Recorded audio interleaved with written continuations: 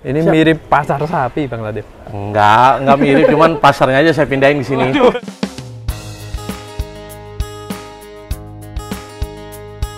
Halo teman-teman, selamat pagi. Kali ini kita ada di Jakarta, tepatnya ada di kandang sapi Betawi Muda. Peternakan sapi dari Bang Latif yang merupakan salah satu pusat sapi kurban di Jakarta. Siap. Eh, beliau di sini. Ya, alhamdulillah. Siap, Mas Lutfi, Mas Selamat. Bang Latif, ini mirip pasar sapi, Bang Latif. Enggak, enggak mirip, cuman pasarnya aja saya pindahin di sini. Pasar sapi pindah ke sini. Gimana kabarnya Bang Latif ini? Alhamdulillah sehat semuanya. Yang penting eh, mas-mas semuanya sehat. Nah, Ini kalau hari Minggu seperti ini ya, Pak? Alhamdulillah, alhamdulillahnya karena memang ya, ini sudah mendekati, ya sudah mulai banyak yang mencari hewan kurban ya. Ini untuk teman-teman yang belum kenal alamat dan nama Oke, kandang kandangnya. sapi Betawi Muda di Jalan Palem 2, Petukan Utara, Pesanggerahan, Jakarta Selatan. Telepon di 08111 512200. Nah, minat untuk Nah, mencari siap. bisa datang langsung atau Ya, dulu ya main dulu aja insya Allah kita di sini biar kalau orang bener kan Jakarta bisa berternak, nah di sini bisa kandangnya insya Allah bersih. Di tengah Gitu. ibu kota ini ya Ibu kota, sebentar lagi bukan ibu kota sih. Oh ya udah mau pindah ya. Ayo, Ini sapi-sapinya banyak sekali teman-teman. Berapa Siap. ratus ini bang? ini total sudah di 270 ya, tapi kurang lebih nanti masih ada di luar nih. Tiga, masih mungkin sekitar 300-an nanti. dari stok yang ada yang sudah Ya. laku terjual berapa Alhamdulillah sudah mungkin 50% lebih. Wah luar biasa ya. dan ini ready dari berbagai jenis Ah, semualah ya. pokoknya ada. Kalau kecuali kalau kucing bisa dikurban, kucing nggak bisa dikurban. Karena bukan hewan Semuanya ternak. ini palu gada Palu gada. Bahkan nanti kalau ini bisa jadi kayak RPH. Ini yang kita memberikan menarik. Karena nilai ekonomi ini eh, sapi-sapi yang ekonomis kita banyak. Tapi ketika orang nanti tempatnya terbatas, mungkin waktu bisa disembeli di sini juga. Oh bisa. Membeli nanti dia tinggal terima per paket itu bisa kita lakukan juga. luar biasa jos dan ini paling banyak dicari ya ukuran berapa bang Ah, ini kelas-kelas ekonomis yang mulai-mulai teman-teman DKM, masjid, panitia dan lain-lain ini bisa di sini. Kelas mulai dari 18 sampai dengan 26-an. 18 juta dapat ya. sudah dapat sapi kurban dari Insya Allah. kandang sapi Betawi muda ini ada yang pegonan Ah, pegonan ini ini. Nah, maaf ya kalau di atas sudah di label-labelin gitu. ini sudah sudah, sudah. Ya, ya? banyak yang pada belum dipasang juga. Wah, keren teman-teman dan ini salah satu tamu Banyak ini bukan cuma salah satu ini, salah 10 ini. salah sepuluh Banyak sekali ini, tinggal pilih. ya. Belum da- dari Prancis belum, ntar aku keluarin. Katanya minggu lalu. Minggu kemarin nggak bisa minggu besok. Oh. Ini hari Minggu. Iya. Jadi kita coba geser ke sebelah sini, teman-teman. Ada Ya. kebo juga ini. Kebo, kebo nih nggak digerebek kembul kebo sini. Kalau kerbau mulai dari harga berapa bang? Kebo mulai dari 23 sampai di atas 30-an, 35-an. Enggak sedikit kebo. Ah? Ini berapa kurang lebih, Apanya nih? Ini bisa di atas 30-an. Hmm. Ini unik ya. Unik. Oh, Unik. bule ya, Pak? Udah punya orang nih. ya. Udah terbooking ya bang? Udah sudah nih. Ini yang sebelahnya nih yang ini. Nah itu bang harga 18 hingga 26 untuk Ya. sapi ekonomis termasuk ekonomisnya. ongkir Sudah free perawatan, sudah gratis perawatan juga sampai di tempat. Pokoknya hewan juga kalau ada apa-apa kita yang jamin sakit dan lain kita ganti semuanya. Garansi ya. Garansi semuanya. Harus sudah gitu. Jadi bagi warga Jakarta Ya. yang lagi mencari hewan kurban bisa Silakan, silakan di ke sini iya. Kandang sapi Betawi. Nah, ini sebagian udah punya orang di sini semua. oh, udah terbooking ya. Kalau yang sebelah sana ada apa ini bang? Ah, sini ada sapi-sapi Madura. Eh. Wah, maaf, kalau Jaya. jenisnya Maaf, maaf, komplit ya Ini Mas Lutfi. ditonton malah tidur. Mana? Jadi dari sapi Madura, sapi Ah, limosin, nih. Madura.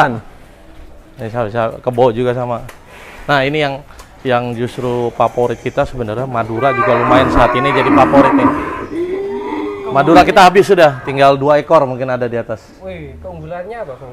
Ya karena memang tulangan kecil, karkasnya juga dapatnya dagingnya lebih berisi lah. Sama lemaknya sedikit ya. Mantap ya. Dari pasar Ah. sapi pindah ke kandang sapi. Enggak Ini lah. ada di petukangan ya atau Iya, palem? memang di tengah kota. Cuman kan kalau pasar yang enggak lah di pasar lebih banyak. Tapi kalau di Jakarta untuk kapasitas segini memang masih terbatas lah karena lapak paling biasanya 50 ekor maksimal di 100. Tapi kalau di sini insya Allah hampir 300 lebih. Jadi banyak pilihan nanti teman-teman datang ke sini.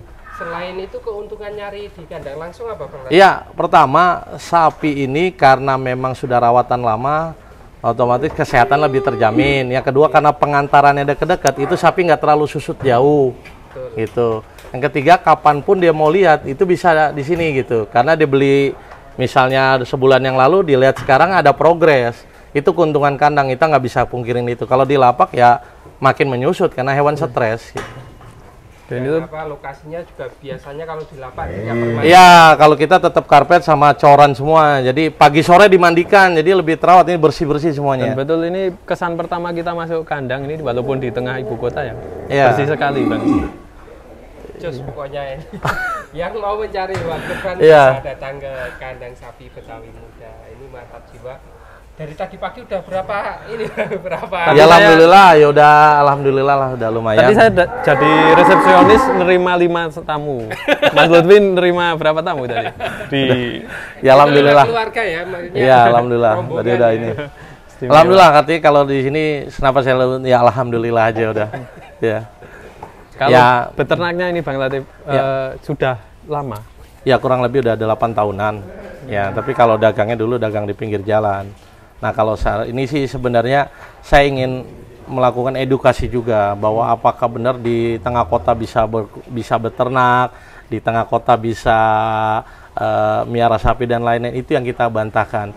Ternyata di tengah kota tuh bisa miara hewan kurban, bahkan tidak berbau, tidak juga becek dan ya segalanya bersih. Ini yang kita ingin buktikan. Jadi kalau bagi teman-teman nih subscriber semuanya, silakan buktikan datang ke sini.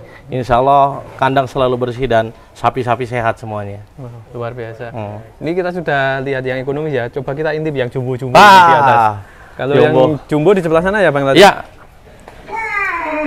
Nih, Mantap lumayan sekali. galaknya tuh. wih, wih, wih, wih. Lumayan galaknya. Wuh. Hei, Awas-awas ya, hati-hati ini. Artinya sapinya sehat-sehat Bang. ini. Sapi Madura. Udah. Ini baru datang. Mau ngambil nih? Jangan. Jangan. Terkaget di sana. Iya. Ini kebo apa-apaan. lagi bingung. Warnanya pink. Di rumah diselipin sapi itu banyak sekali. Rata-rata yang datang ini customer baru atau lama ya? Ya alhamdulillah dengan adanya nih teman-teman berkonten pun ada eh, customer customer baru. Tetapi yang lama pun ini mayoritas ada yang lama lah juga lah gitu. Setelah tiga minggu yang lalu ya kita Ya alhamdulillah ada efek positif juga dengan adanya konten Mas Slamet, Mas Lutfi tadi yang lain juga. Alhamdulillah itu ada ada inilah kita ada customer baru dengan eh, para subscribernya. sini. Wah ini jumbo-jumbo. Tidak cuma satu, puluhan di sini. Alhamdulillah nih tinggal lima ekor di sini. Ini yang ready tinggal Tinggal lima lima ekor. ekor. Berarti terbooking semua. Sudah terbooking semua. Alhamdulillah. Mulai dari bobot berapa ini Bang? Ini bobot 600 up. 600 Limosin, kemudian ada pegonan. Pegonan ada Di sini juga ada yang jumbo-jumbo. jumbo ini. ada yang jumbo juga. Kalau yang satu ton up juga ready, Bang. Insya Allah ready selalu ya. Tapi sekali lagi ini ya lebih ke arah bukannya ini ya biar ada aja ketika orang nyari satu ton ada gitu. Mau nyari 300 ada. Jadi Karena kita ini Bang Latif menyampaikan harus ready. harus ready. Jadi bagaimanapun sapi akan selalu ada ketika nanti kita habis kita tetap menyiapkan di sini masalah orang mau beli mau enggak yang penting kita tetap ada buat cadangan entah buat perawatan selanjutnya dan yang paling penting datang dulu ngopi di sini Yes, gitu.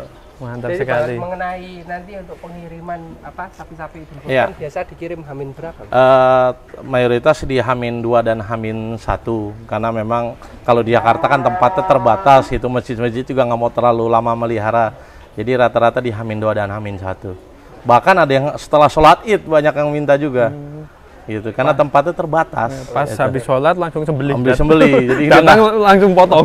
turun langsung udah ditunggu jagal gitu Luar biasa ini. Namun ini teman-teman eh, customer juga banyak yang Ah. berdatangan. Ini setiap hari Minggu, weekend atau hari biasa juga seperti ini, Bang.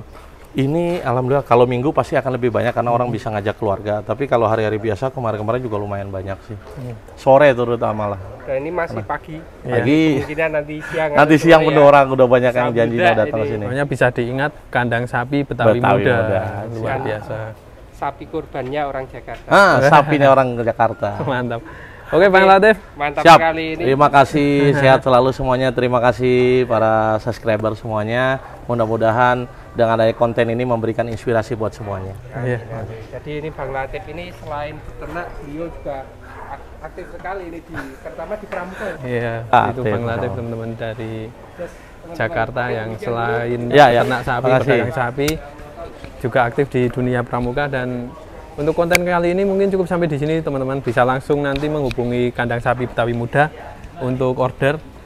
Jangan lupa subscribe dan wassalamualaikum warahmatullahi wabarakatuh.